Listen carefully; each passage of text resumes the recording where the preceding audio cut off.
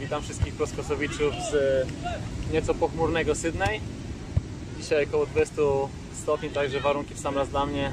Nie będę się za bardzo męczył. Ale do rzeczy. Chcemy dzisiaj pogadać o kilku kwestiach, które wydarzały, wydarzyły się w minionych e, dwóch tygodniach. E, I są to właściwie trzy ciekawe wydarzenia.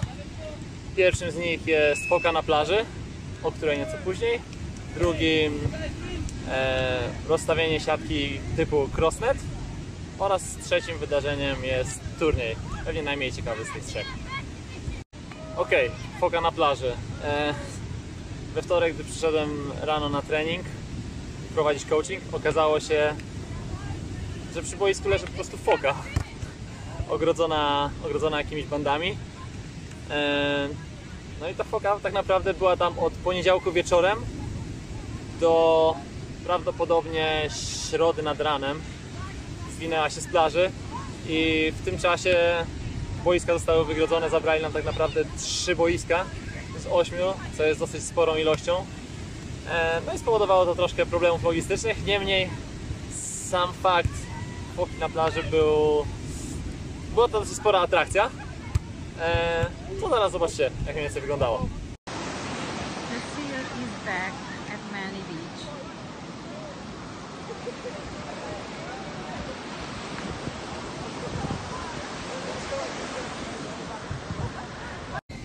Drugą ciekawą kwestią, która się wydarzyła w minionych dwóch tygodniach, jest granie na siatce typu crossnet.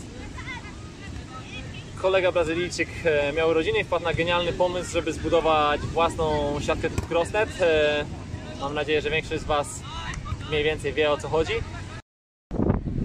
I oto tutaj nasze arcydzieło konstrukcyjne.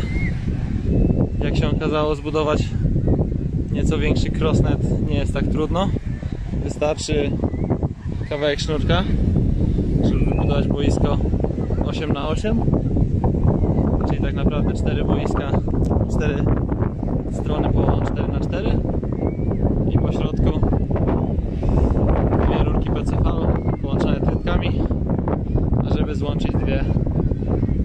przenośne siatki.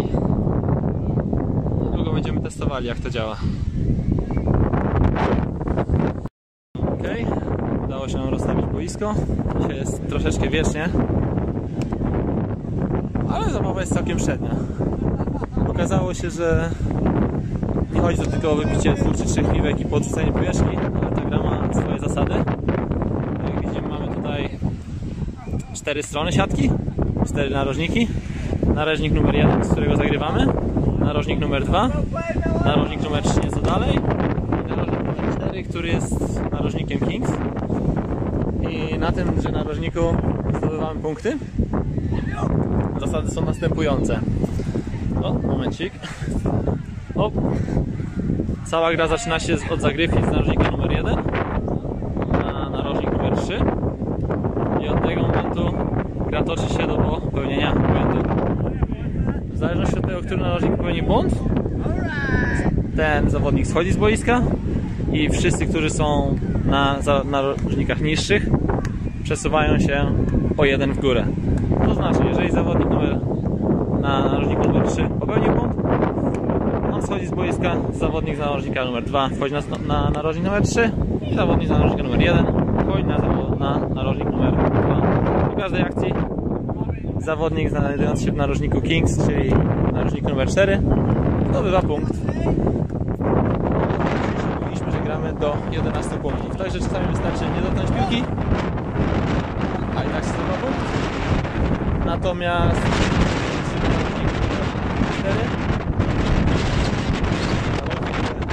w białej koszulce. Jest się nieco oblężonym, bo wszyscy wysta- wystawiają sobie na środek siatki i próbują zrobić ścinkę właśnie w tą część, w tę część boiska. O! Tak jak tutaj to wygląda. Muszę przyznać, że nie spodziewałem się, że taka fajna zabawa. O! Całkiem niezłe obronki. O! Go! Go! Tutaj zawodnik z narożnika numer 3 przegrał, także wszyscy pozostali się przesunęli, a on schodzi na koniec kolejki. No i to było na tyle z zasad. Ostatnim e, z tych trzech wydarzeń był turniej plażówki klasycznej. E, Tutaj po raz pierwszy udało się zwyciężyć w tym sezonie, co było dosyć e, satysfakcjonujące, ponieważ przed sezonem borykałem się z kontuzją pleców, która wykluczyła mnie na 2-3 miesiące z jakiejkolwiek, jakiejkolwiek aktywności fizycznej. Także rehabilitacja, potem dosyć sporo pracy na siłowni. No jak się okazało, przyniosło całkiem niezłe rezultaty, także wielkie podziękowania dla lokalnego osteopaty oraz oczywiście dla Kuby Sulimy, który przygotowuje mnie do, do tego sezonu.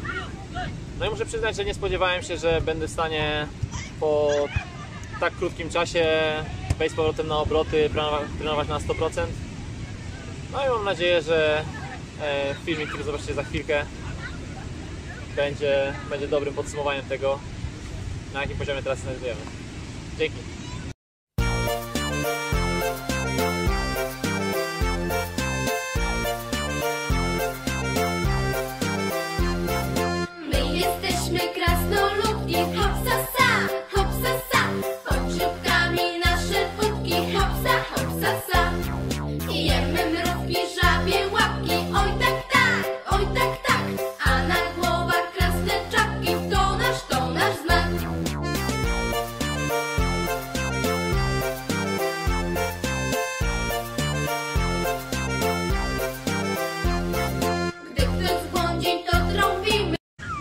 To by było na tyle.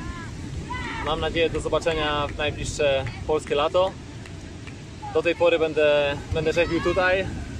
Na początku kwietnia powinienem być w Polsce, także do zobaczenia na obozach e, oraz treningach.